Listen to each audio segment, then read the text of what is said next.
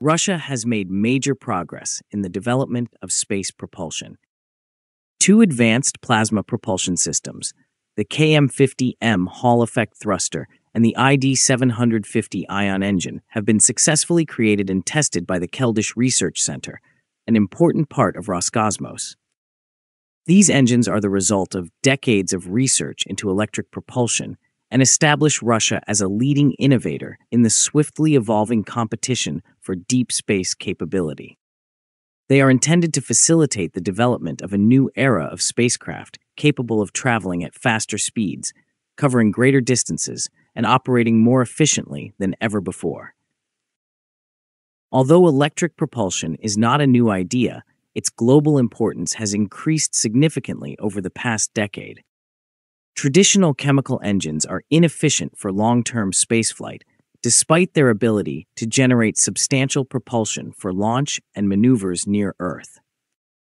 In contrast, plasma engines employ electromagnetic fields to accelerate ionized gas, resulting in a more gradual thrust delivery while maintaining significantly higher fuel efficiency.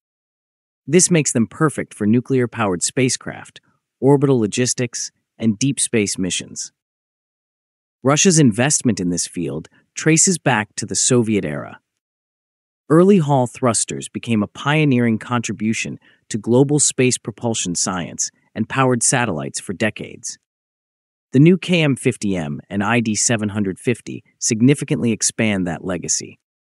Their operational lifespan and performance levels have placed them in a readiness category where practical interplanetary missions are no longer theoretical aspirations. This propulsion development effort was carried out with the help of top experts from Russia's nuclear technology field at the Rosatom Scientific Institution in Troitsk. Their involvement ensures a strong link between power system design and propulsion engineering. The KM50M Hall effect plasma engine sets a new standard of performance in its category. It is one of the most powerful Hall thrusters ever developed, with an operating power of roughly 50 kilowatts.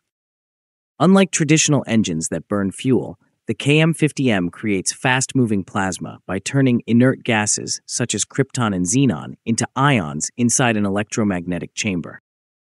The engine produces approximately 1.5 newtons of thrust when using xenon propellant. The thrust increases slightly to around 1.6 newtons when switching to krypton. Its efficiency is even more impressive. The specific impulse for xenon is approximately 3,800 seconds, while it can reach up to 4,200 seconds for krypton. A higher specific impulse means greater speed change per kilogram of propellant, increasing mission endurance and payload capacity. The KM50M incorporates advanced magnetic shielding technology. This reduces internal erosion in regions where plasma interacts most intensely with engine materials. As a result, the system can operate for more than 20,000 hours, that is equivalent to years of continuous use in high duty orbital service or deep space missions. Recent vacuum chamber tests confirmed the scalability of the KM50M. Engineers demonstrated independent operation of four thrusters in a clustered configuration. This suggests that the propulsion system can support very large spacecraft, such as interplanetary vehicles orbital tugboats, and nuclear powered cargo transports between Earth and the Moon. In addition to the KM 50M, Russia's propulsion breakthrough includes the ID 750 ion engine. It is designed for missions that require extreme endurance and pinpoint maneuverability. The key difference between ion engines and Hall thrusters is the method of ion acceleration, Ion engines use electrostatic fields to achieve even higher exhaust velocities. Although the ID 750 generates less thrust than the Hall effect engine, its efficiency allows spacecraft to operate far from Earth for extended periods. The engine is also optimized for xenon and krypton propellants. These performance characteristics make it an excellent option for scientific missions to the outer planets advanced satellite station keeping, and robotic exploration of distant celestial objects.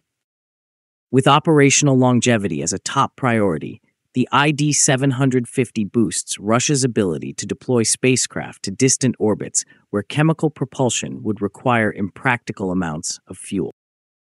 The adoption of powerful plasma engines enables a new era of space architecture. Missions once considered too slow or too costly can now be executed effectively. Propulsion that lowers fuel consumption while increasing payload capacity is essential for interplanetary travel, industrial use of the moon, and long term human presence in deep space. Transport spacecraft equipped with these plasma systems can carry more cargo because they require less propellant. This shift is important for the economic development of space and for scientific research beyond Earth. Lunar resource extraction, including helium 3 production, will eventually depend on dependable and efficient logistics to transport materials to Earth or to orbital processing sites. Plasma engines provide the scalability needed to make such cargo operations a reality. These propulsion systems also make Mars exploration more viable. Shorter travel times mean reduced radiation exposure and greater mission flexibility. Plasma propulsion can maintain continuous thrust, gradually building tremendous speed over time. Although the initial thrust is modest, a plasma powered spacecraft would surpass any chemically powered vehicle by the midpoint of the journey. Orbital repositioning will become routine in upcoming space infrastructure networks. High efficiency space tugboats will move equipment through Earth Moon space, assemble large structures, or reposition satellites into new orbits. Many nations are already developing such spacecraft, Russia's new propulsion systems offer performance advantages in this emerging field. Long range transport ships will form the backbone of human expansion into the solar system. Nuclear power combined with plasma propulsion is a promising architecture. Nuclear reactors provide abundant electrical energy, eliminating the need for massive solar arrays that degrade over long missions or become ineffective far from the sun. The KM50M is especially suited to these reactor powered vessels. Clusters of thrusters could deliver propulsion exceeding hundreds of kilowatts or even megawatts. Such capability will enable routine interplanetary logistics and sustained acceleration. Space tourism, though still in its infancy, will depend on practical and reusable transport. A reduced fuel requirement translates to lower cost per passenger. Plasma engines enable more reusability in orbit by minimizing propellant consumption. They could support vehicles transporting people to orbital habitats or around the moon, turning destinations beyond low Earth orbit into commercially viable attractions. Commercial satellite operators will also benefit. High efficiency propulsion extends satellite lifetimes, preserves fuel reserves, and enables mission updates long after deployment. This strengthens business cases and operational flexibility.